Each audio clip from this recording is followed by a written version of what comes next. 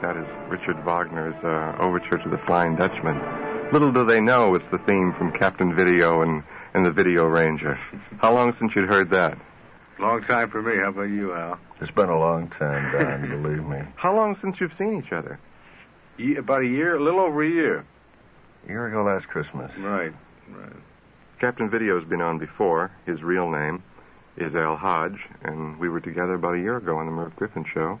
Then he was on again as um, Green Hornet, and today he brought with him the Video Ranger, Don Or vice versa. yeah, really. How old were you when you started? I was 15 when the show went on the air in uh, 1949. Was that your first professional job? No, I've been I've been working professionally since I was six. I was thinking at that point of retiring, and then uh, wound up being. I'm kidding. Uh, wound up going into what we didn't. Well, I, actually, it was a way to show cowboy pictures. Was the original idea why it went on, and then we.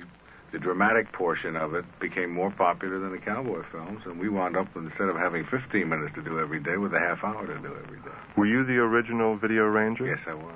Now, I understand you are not the original No. Captain Video. No. No, Richard Coogan did it, I think, for the first six or eight months or something. about If. I'm right in my time down. Something Uh, like that. Yeah. And then I kept going for another six years or something. Did you go to public school at that time? I was uh, when the show went on. I was in high school. I went to a private school because I, I used to have to get out for auditions and shows and things like that. But uh, no, not a not a public school. Weren't the kids impressed? Not really. No? no, I used to take a lot of ribbing. I played a lot of baseball uh, out on Long Island where I lived. And uh, Would you mention the name of the team? No, I can't say the name. Because No. I happen to remember it. Well, it, well, that was sort of the way we called. It. I played for the church team. And when we got older, they used to call ourselves the Sacred Heart Brewers. Which I think is beautiful. where we spent most of it after the games, you know. But uh, I used to get a lot of ribbing. They'd say, "Well, if it isn't the Video Ranger," it'd strike me out with great regu- great regularity.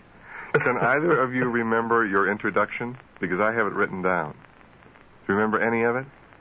Master of Time and Space, Guardian of No, wait a minute. Uh, Captain Video, Master of Time and Space. I know uh, something about operating from his secret mountain laboratory high above Kansas City or whatever. Well, the, here's what I something have. about gives no quarter. I remember none of the there was a quarter in.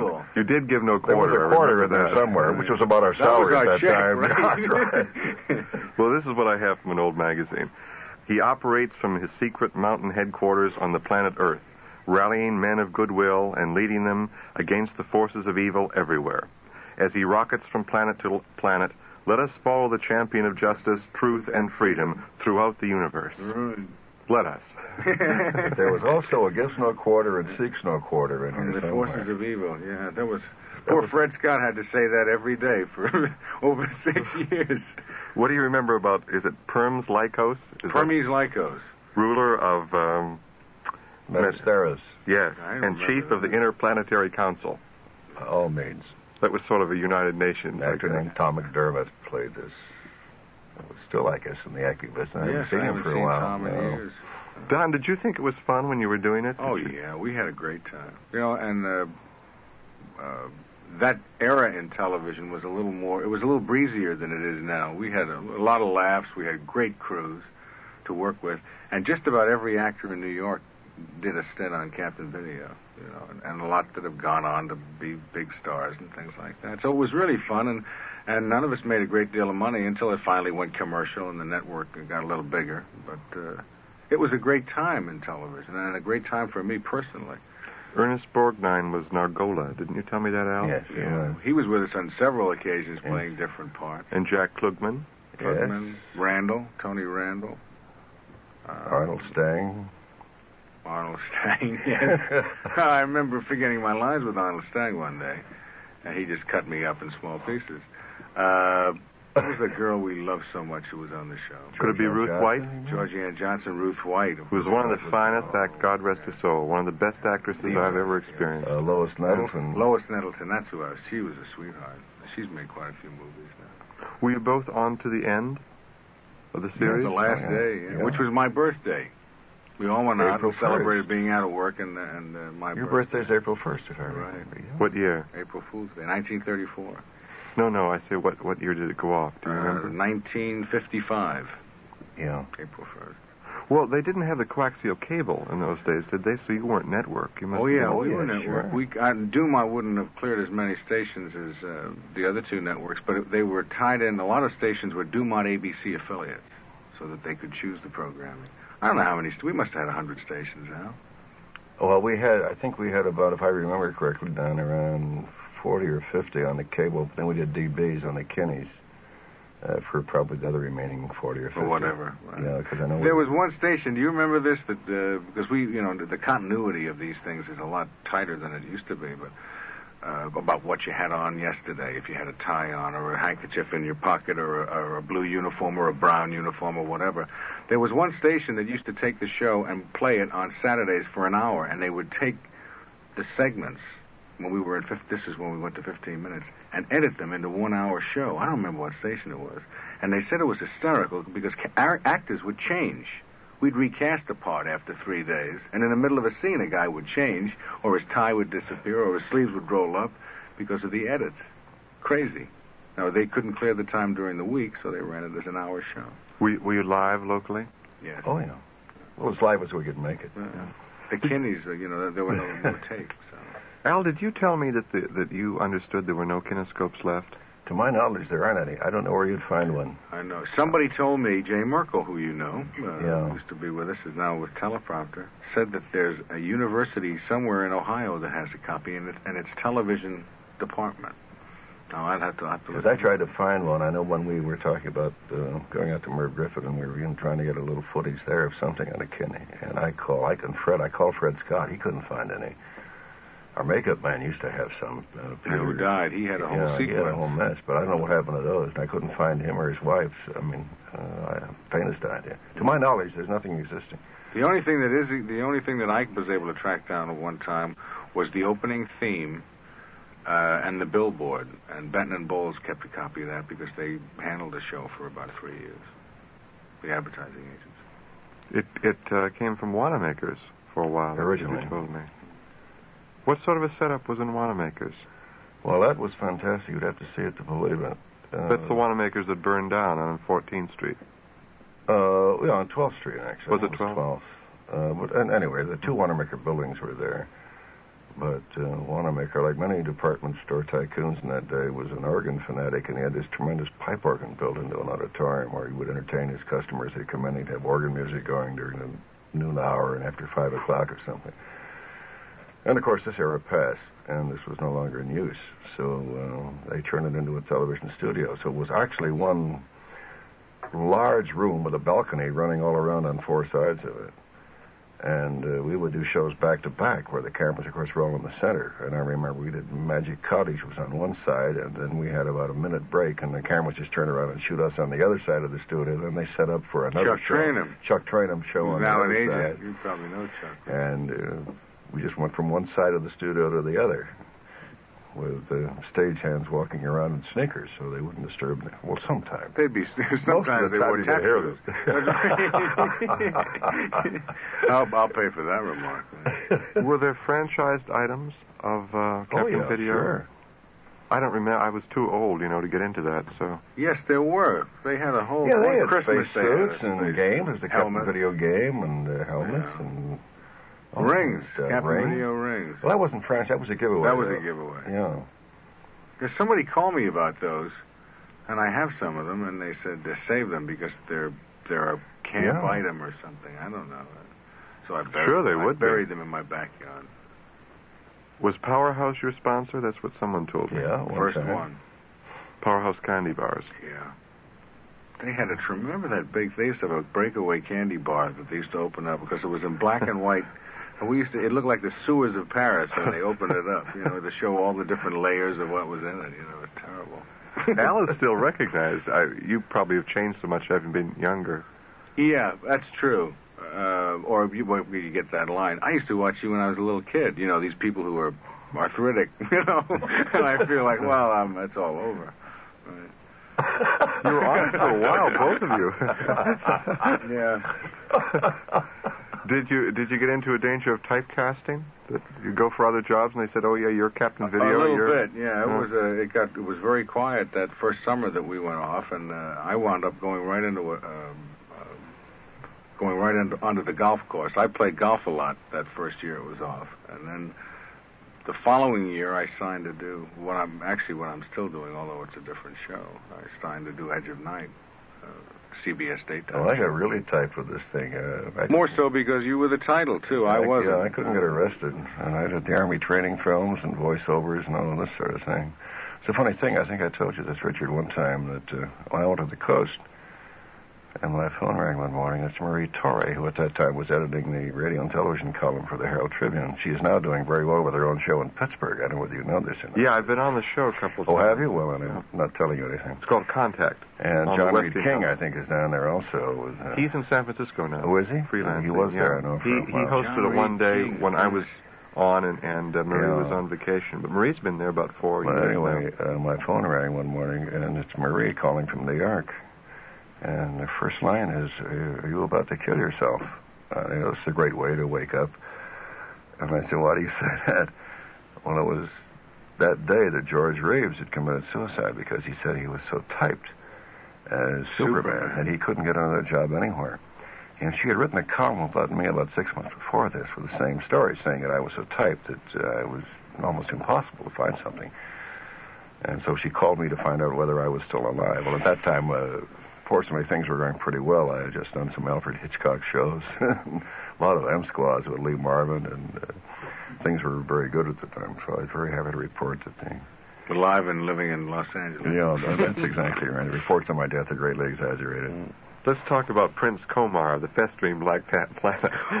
The Who was that? I give up. Don't you remember him? Prince Komar. Komar. That's what someone. That's what I the have name here. of a character. Prince Komar of the festering Black Planet.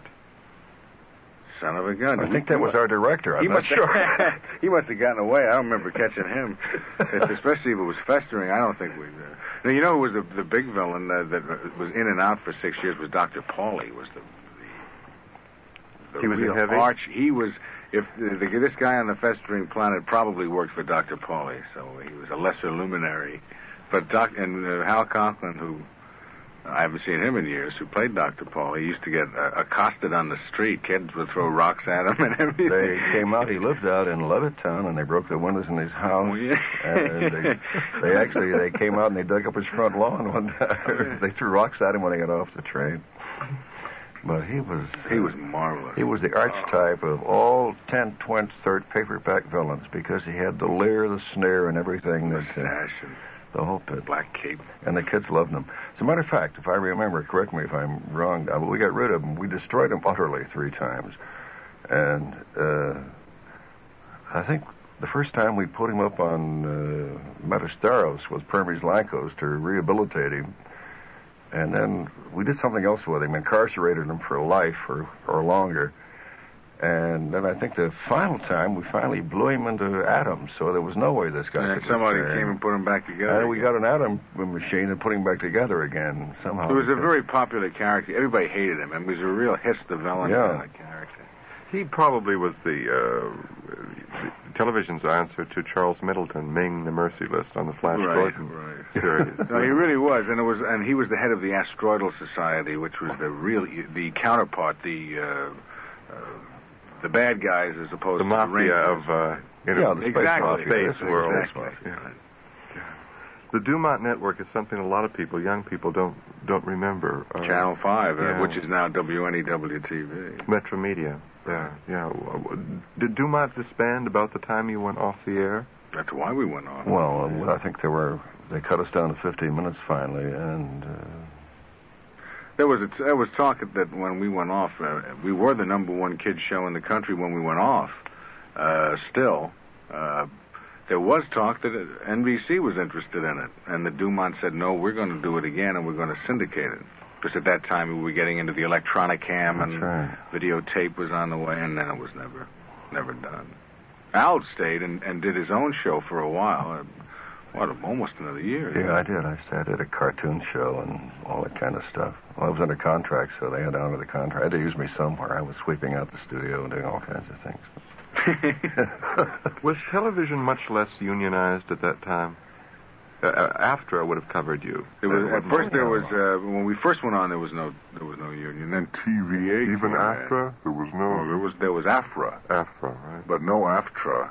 TVA started in uh, 19 let's see 50 we went on in June of 50 um, 55 no what am I saying 49, 49. about 50 right before you came on the show Al Yeah. they, the union came in and we almost we had a you like it was going to be a national strike and they the networks all signed uh, and we wound up uh, the funny thing is we were getting some kind of a fee at that point was all the actors made the same, but uh, well, Coogan at that at that time got tremendous fees if we had a commercial, like fifteen bucks. You know, if a commercial ran, I got fifteen dollars. When the union came in, the union scale was more than I was making with all my fancy fees.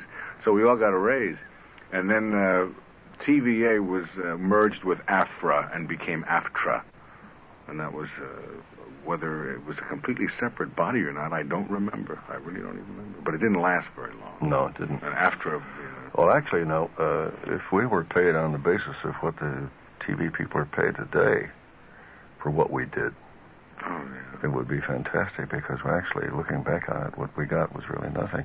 I think Don and I, we made, I don't know how many personal appearances the two of us made, but I actually think we probably made more out of doing personal appearances than we did on we the could. show. We could do a circus. you know, people would say, "Would you come?" And we won one great one I remember was out at Forbes Field in Pittsburgh. We came in, rode around the car in the infield of Forbes Field. We said, hi, gang. They said hi, and I we swore swore 'em in as Rangers and got out of there like we did that for four days and made more than we'd make a month on the show.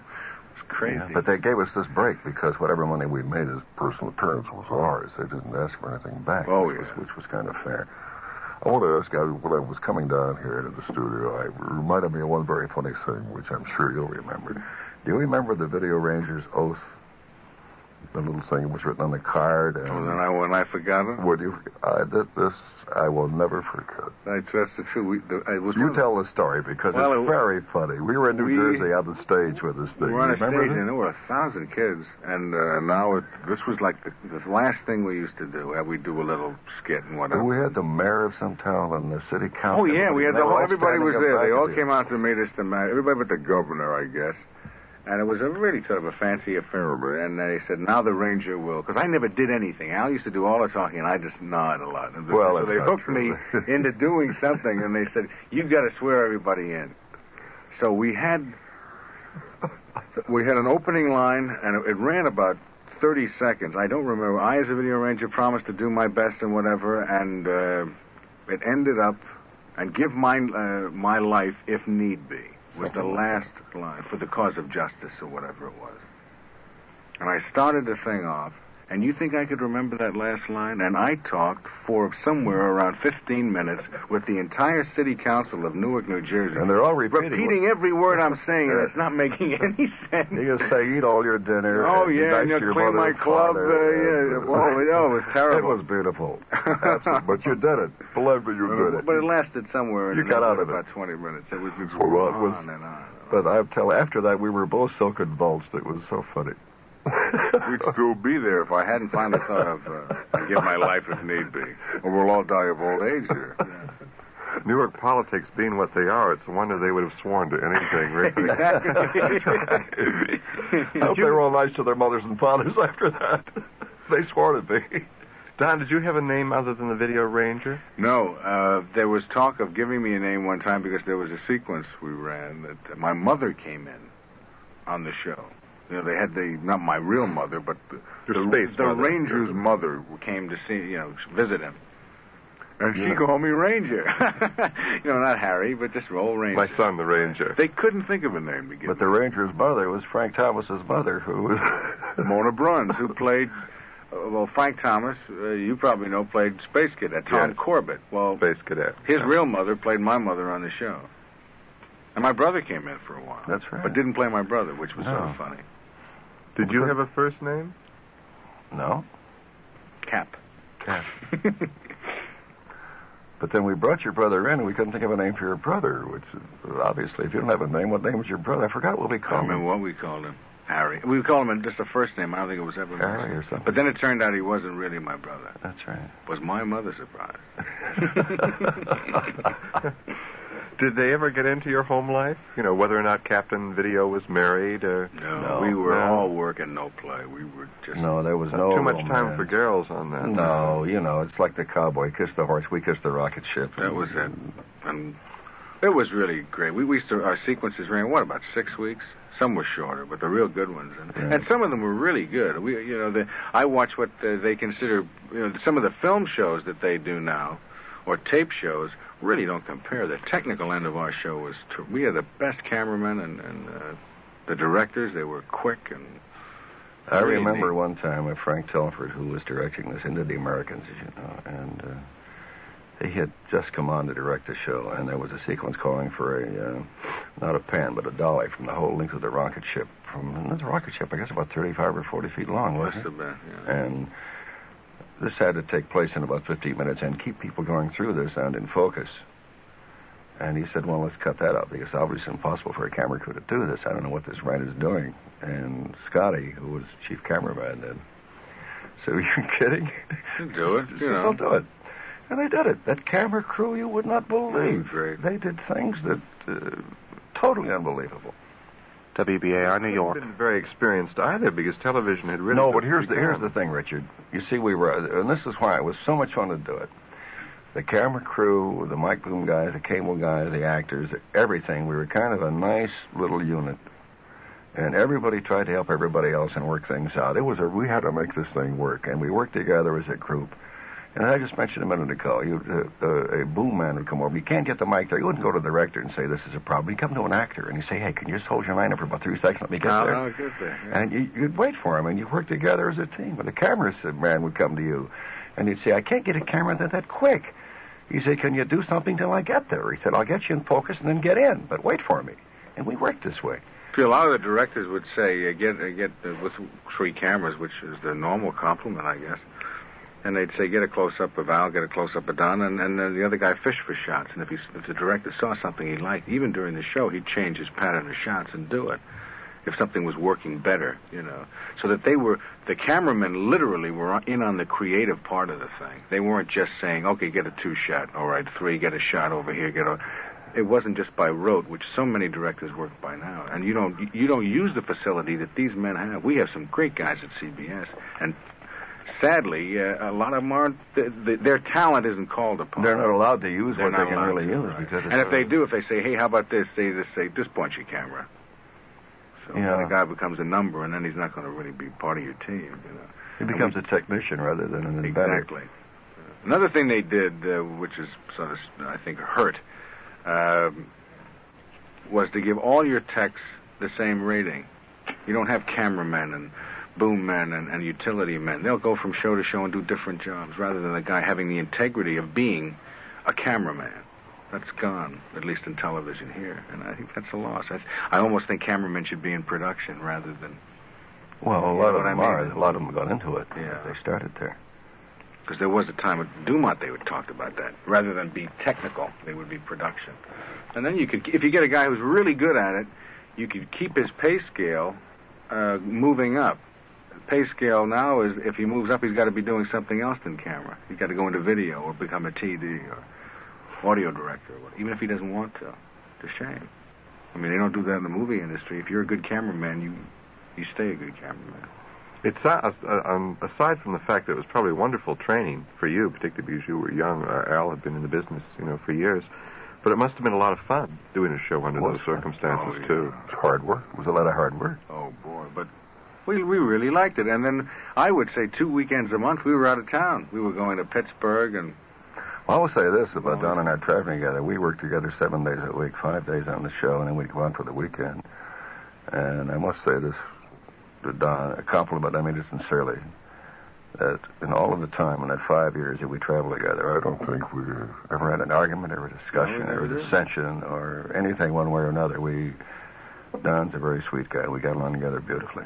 And you said the that when you weren't here too, a couple of years ago when he I was think there. I yes, did. Very yes, nice. you did. But that's true. I, I I don't, and that was that's part of it too. I think that's why we both look back on it fondly because we had no problems. We we really once in a while we'd have something with the director, but we were together. Usually on any decision that had to be made, you know, we thought alike uh, about the show. Were you the only two who were on day after day? Well, Freddie Scott, uh, when he he joined the show after it had been on about a year, and um, he became a character on not only the announcer, but he played another ranger, uh, the communications ranger, Rogers, and he'd be in and out, sort of, you know. He did a very cute thing one time. Uh, uh, Freddie's from Dayton, Ohio, and uh, his family watched the program in Dayton. So, the birth of his first child, he was communicating to them the weight and the age and various information in a coded system, which he invented to introduce this Western film. He would say this is series, uh, uh, let's say, um, six and seven eighths. And this is series so and so under number three, which gave the, actually the birth of the baby, The weight and the weight, else, and and the the, the whole thing, which his family picked up, which nobody knew about. Did you stick pretty closely to scripts usually? Once we, yes, once Yeah. uh, we had a little bit of editorial rights. I mean, we'd sit there the first time and go through it and change little words and everything. But no, we we did. They expected it of us. Well, as you said, you know, I don't think a lot of people realized it was a really a scripted show, where we did learn Right. these lines. That's true. And there were some funny ones. I mean, really, with these, you know, I can't even say that thing about the festering planet now, but I mean, we used to have those names all the time, you know, Krago, Blagan, Blagan, blah, blah, blah, whatever, Permes Lycos, and, you know, you talk to them in conversation, you don't mention their name a lot. The the um, stills I've seen of Captain Video and the books on television, I must say, the costumes looked pretty tacky. Were they? Originally, they were, Oh, but later were on, we got we we. Uh, No, we, in fact, they were designing new uniforms when we went off. You know, it was really a sort of a surprise. It was to the guy who had the order for the uniforms. It was a big surprise. Right. I remember Scudder Boyd was designing a new uniform. Speaking of time, we're out of it. Oh, that was We've quick. already gone over 30 minutes. I thought you'd say Holy Hyperion. When I Yeah, Ga- Great Ganymede grasshoppers was another beauty. I've got to say good night. I want to thank uh, Don Hastings, the video ranger, and uh, Al Hodge, who's been on this program third time, I think, around. I guess is. yeah, he was here once as uh, the Green Hornet, and today again as, as Captain Video, and I want to thank both of them. And I'm Richard Lamparski, and I want to thank you for listening and have a real nice evening.